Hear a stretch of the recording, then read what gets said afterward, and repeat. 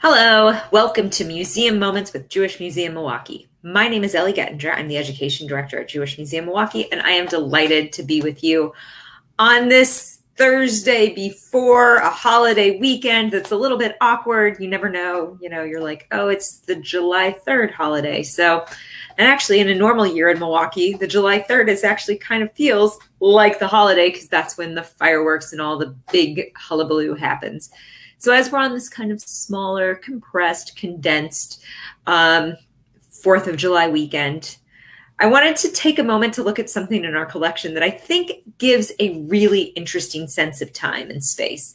It talks about things that are still kind of big and relevant trade and our response to trade. It looks at how uh, industry and commerce and government and all of these pieces come together. And then it also looks at what are the ways in which we try and encourage trade um, in a very micro uh, kind of case study that we're exploring today.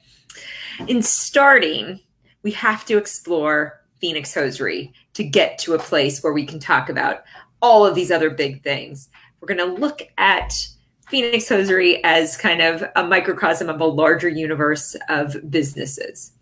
Phoenix Hosiery was founded in the 1890s and bought into this moment in which women are starting to show their legs. In fact, much of their early advertising um, is uh, showing, you know, very kind of waspy looking ladies showing kind of their legs in very um, unassuming ways. So there's a great ad which shows you uh, a lady who's supposed to be a Ziegfeld Follies girl who's been selected, and yet she's not in a Follies kind of costume. She's in a long sweater and long skirt, and her legs are folded neatly underneath her. Um, but this was their logo they started here in the 1890s and they um, had a kind of business footprint in Milwaukee until 1959 when they sold to a larger company. But at one point, Phoenix Hosiery was, and, and Holeproof, another Milwaukee brand, were supposedly the largest, uh, the, the most manufactured um, hosiery that was in uh, the world, in America at that time. And if we think about it, there's this big transition that starts happening. Um, and actually, this is the Phoenix Hosiery building. It's in the third ward. It's still there. There's office spaces there. If you walk through it, you can see some of the old um, advertisements and things like that. It's an interesting building. And this is what it looked like, which is you're walking through and you see when I went into this building um, earlier this year, you can see how they took these incredibly open, big spaces and they started making them appropriate for offices and things like that.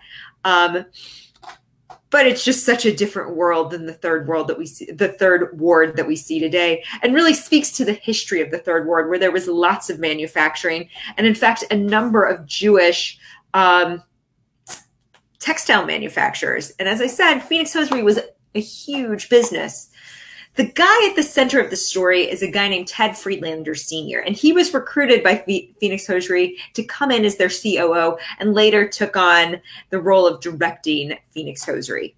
And he receives a call in the 1930s, in 1930, and this is where our history is having some contested questions. One side of the story we've seen is that this was in summer of 1939. This picture was taken in summer of 1939. Another side of this story is saying that maybe this is summer of 1938. Well, the timing is different. Both are speaking to kind of bigger world developments. One, the world is in the middle of a Great Depression, and there's been a compression of industry and trade throughout the world. Two, there's been the development of synthetic textiles like nylon and rayon, which is suddenly causing the Silk Association to panic um, and to reach out and to try and connect with clients in the Midwest. Now, not just in the Midwest, but all over the United States. They did these meetings all over. This is the one that took place in Milwaukee. Either way, at this time, Japan is building up its war efforts. That one of the reasons they're looking to uh, expand their exports is so that they can invest in their their war infrastructure. Um, and this is a big, you know, kind of moment before the US becomes embattled with Japan.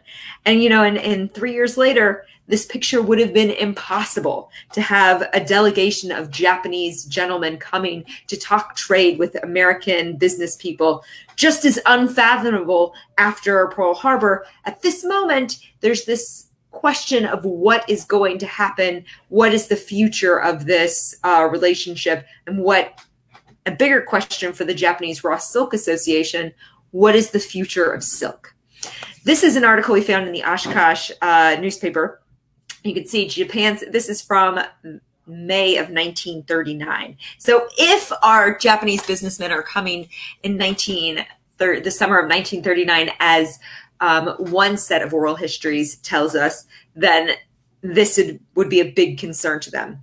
That at that time, the trade for silk is a hundred million dollars annually. And it goes mostly to japanese exporters.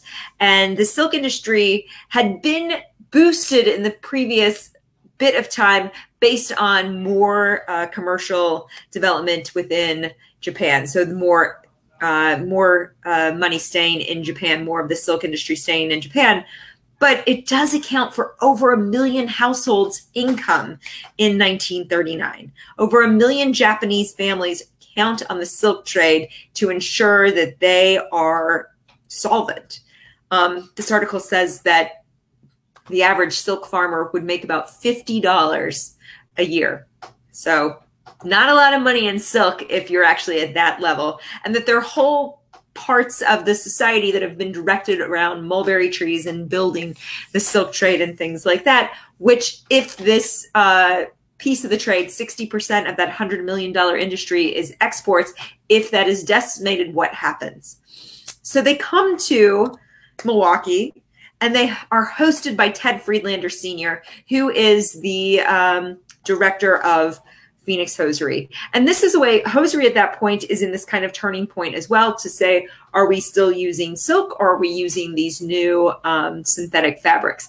Once World War II starts, synthetics really take over because silk is used as a war, um, is used for as a war supply. Um, but before that, there's still this kind of question mark of what's going to happen. We know that this meeting took place in the Schroeder Hotel, that they wined and dined them. Um, the people, I don't have the people identified in this uh, image, except the senator from Japan is the middle figure with the beard.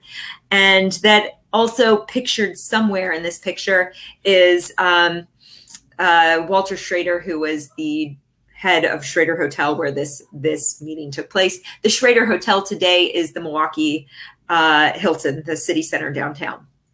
It's owned by the Marcus family. After this, they send a beautiful beautiful flag. And enclosed in the flag was this message that says, A message to American friends. Across the broad Pacific Ocean stretch microscopic threads holding America and Japan together by potent bonds. They consist of raw silk that goes from Japan to American factories and the raw cotton that comes from southern states to Japan. So there's a symbiotic relationship here between all of these different materials. Full 2 million silk raising households all over Japan depend on the trade for their living. For four fifths of all Japanese raw silk is purchased by Americans. So this is really a desperate plea to say, please keep buying us. Our government and people alike, therefore, are bending are le lending every effort to the demand of our American friends with our ever finer quality of silk. On this occasion, we, on behalf and not only of our cultivators of raw silk, but also of our people as a whole, are here to present um, a few representative friendship, uh, a few representative friends in the United States, the accompanying small token of sincere appreciation, the flag of their beloved country woven from the choicest of raw silk. Now, the one thing that I wish that I had on this is um, textile vision. You know, you've heard of smell-o-vision. I wish that I had something so that I could put this pic next picture up and you guys could all feel what's going on here. That is not possible. So you're just going to have to trust me that this is an amazing specimen. It is bigger than it looks here. It's probably about three feet by two feet. Um, and the lines in between each of these are so beautifully woven. It is so gorgeous or dyed. Uh, it is so sharp and so crisp. And the color, this is, you know, almost, uh, it's 78 years old or more. And it's, it's still in this pristine shape. You can see how it was folded. It came in. And there are 48 stars, as you notice, because it's before Alaska and Hawaii were states. Um, just to give you a sense of that detail and that sharpness and that texture. It is beautifully wrought. It is a spectacular set specimen. And it just uh, goes to show you that three years later, this is an improbability. The fact that someone in Japan would be making an American flag and sending it to the United States and the United States would accept the gift, that that is a crazy, you know, just how fast the world can spin. In addition to this small token, uh, the Japanese silk merchants send another token. And this token is great. In Ted Friedlander Jr.'s oral history, he describes this as his dad gets a call, and the call is from Western Railways. And the railway company says, We have a delivery for you. And he's like, Great, just drop it off. And they were like, We can't do that. It's 6,000 pounds. So the other piece of this is something, it's a piece of history that if you've ever been outside of the public museum between where the library and the public museum are situated, you may have noticed this statue. And this statue was the other piece that the Japanese business people sent. The plaque says Japanese, uh, uh, I think it's Toru, of the uh, goes on to describe it. And it says it was given to Theodore Friedlander Sr.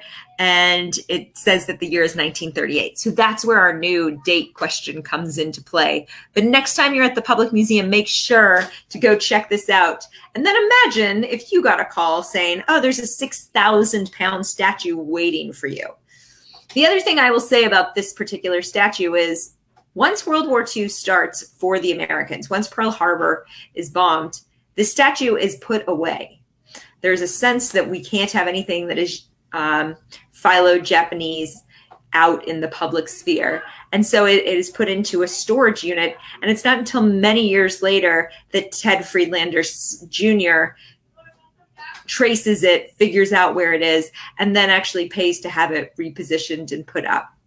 So thank you guys so much for your time and attention today. This has been a museum moment.